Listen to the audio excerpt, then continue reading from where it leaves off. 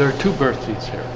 This is the uh, 86th birthday of Pooh. Came into existence in 1926. And uh, so this is really a celebration of Pooh's birthday, but it happens to be my 81st birthday.